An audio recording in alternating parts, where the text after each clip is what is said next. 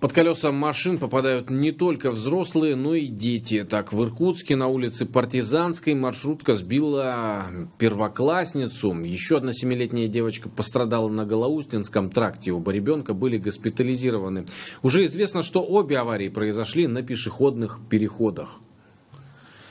ДТП именно на пешеходных переходах все чаще становится причиной трагедии в Иркутской области. При этом в регионе регулярно появляются новости об установке камер наблюдения или об устройстве новых зебр на дорогах.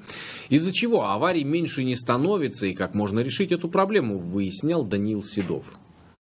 Для пешеходов бело-желтые полосы на дорогах – гарант безопасности, а для водителей это разметка, требованиям которой нужно следовать обязательно, но так считают не все. Так называемые зебры в Иркутской области уже давно стали местом, где регулярно происходят ДТП. С начала года в Прибайкалье произошло 435 аварий с участием пешеходов. Четверть из них случилась именно там, где есть знак с человечком, перебегающим дорогу. За 9 месяцев текущего года на территории региона на пешеходных переходах произошло 146 дорожно-транспортных происшествий, в которых 13 человек погибли и более 140 получили травму различной степени тяжести. В большинстве дорожно-транспортных происшествий пешеходам водители не предоставили преимущества при переходе проезжей части.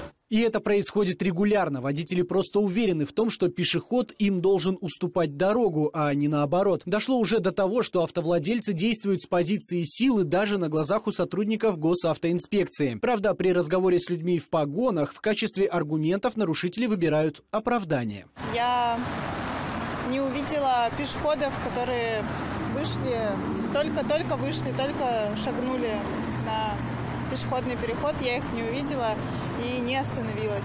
Хорошо, что на этот раз обошлось без последствий, в том числе из-за таких проступков Иркутская область стабильно входит в десятку регионов с наибольшим количеством аварий, в которых страдают именно пешеходы. Одна из причин таится в техническом оснащении переходов. Например, далеко не на всех зебрах установлены камеры фиксации нарушений. Камеры – это желаемое требование, которое устанавливается на пешеходных переходах, соответственно, с высокой смертностью для того, чтобы снизить. И вот у нас в этом направлении тоже мы не дорабатываем э, к сожалению. Но это мы сейчас говорим про Иркутск. В области э, ситуация еще гораздо печальнее.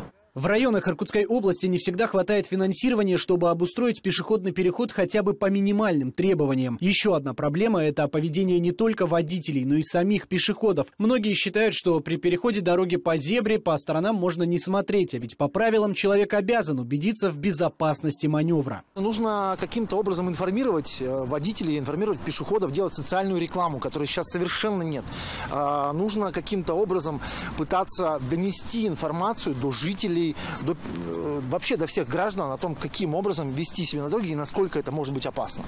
Создавать какие-то определенные ролики, это меняет сознание однозначно, и над этим нужно работать. Из всего этого можно сделать вывод, что высокая смертность пешеходов в Иркутской области – это комплексная проблема, и решить ее одномоментно нереально. Даже при том факте, что в регионе действует программа, согласно которой количество трагических ДТП с участием пешеходов необходимо свести к нулю к 2030 году. Данил Седов, Владимир Пинаев. Новости по будням.